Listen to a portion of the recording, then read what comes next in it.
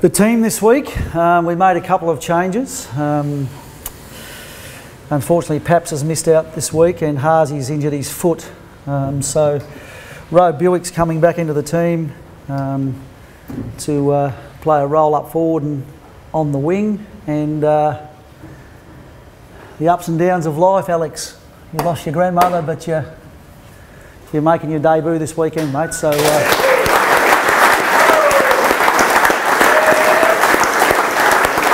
Um, both, both yourself and Ro have been in very, very good form in the in the twos uh, for a number of weeks now. I think you've had three eights in the last four weeks or something like that, and you've been pretty similar, Ro. So you've uh, earned your spots, and uh, I'm sure you'll make the most of them. Um, Alex, would you like to say a few words, mate? Now you've got to keep it to less than 10 minutes, but if you'd like to say a few words, that'd be. Um, it's extremely humbling to get this opportunity, but.